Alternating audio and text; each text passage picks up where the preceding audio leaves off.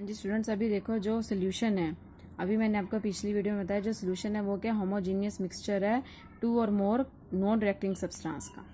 ठीक है? जो उसकी जो कंपोजिशन है वो वेरिड हो सकती है और कुछ केमिकल रिएक्शन होमो सोल्यूशन में भी पार्टिसिपेट टेक प्लेस होती है। जैसे हमारे पास वाटर और शुगर क्रिस्टल्स है, ये क्या बना देते हैं? शुगर स्वीट सिरप है, जो कि होमोजीनियस मिक्सचर है। कोई भी सोल्यूशन में दो तरह के कंपोनेंट होते हैं सल्यूट एंड सॉल्वेंट सल्यूट क्या होता है? The component which present in small amount ठीक है? जो कंपोनेंट स्मॉल अमाउंट में प्रेजेंट होता है, उसे हम क्या बोलते हैं? Solute and which dissolve in solvent जो क्या सॉल्वेंट में डिजोल्व होता है। एंड सॉल्वेंट किया it is a constituent of the solution which present in large amount और सॉल्वेंट एक ऐसा कॉन्स्टिट्यूएंट है, वो लार्ज अमाउंट में प्रेजेंट होता है दैट डिजोल्व इन सोल्यूशन जो जो क्या सोल्यूशन में घुलता है। ठीक है? तो इस तरह जो सोल्यूशन है, उसके दो कंपोनेंट होते हैं सल्यूट एंड सॉल्वेंट और उसके बाद हमारे पास है concentration of the solution concentration of solution का क्या मतलब होता है?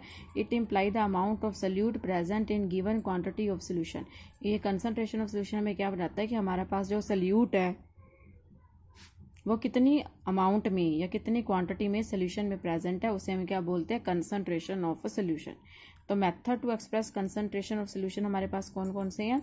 हमारे पास नाइन मेथड है इसको एक्सप्रेस करने की. स्ट्रेंथ है molarity molality normality, mole fraction, mass percentage, volume percentage, parts per million और मास फ्रैक्शन। ठीक है? ये हमारे पास नाइन मेथड है इसको एक्सप्रेस करने के। तो वन बाय वन हम इस मेथड के बारे में पढ़ते हैं। सबसे पहला मेथड है हमारा स्ट्रेंथ। स्ट्रेंथ क्या होता है? It is defined as amount of solute in gram present per litre of solution मतलब कितने अमाउंट ऑफ़ सल्यूट है? ग्राम में, जो एक लीटर सोल्यूशन में क्या है? प्रेजेंट है। ठीक है? जैसे वन सोल्यूशन ऑफ़ जैसे हम कहते हैं फाइव ग्राम सोडियम हाइड्रोक्साइड को हम डिजोल्व करते हैं वन लीटर सोल्यूशन में। ठीक है? तो इसका स्ट्रेंथ को फाइंड आउट करने का क्या फार्मूला हो गया? Mass of solute in gram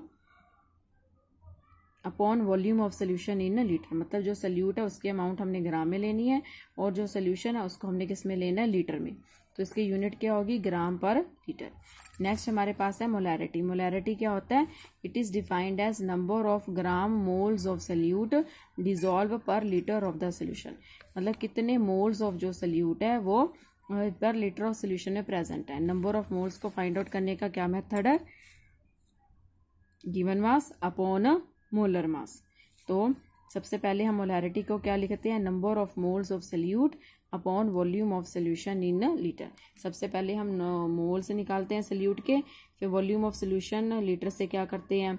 divide करते हैं, उसके बाद हमारी मोलैरिटी आती है। तो इसके यूनिट्स के है? मोल्स पर लीटर है।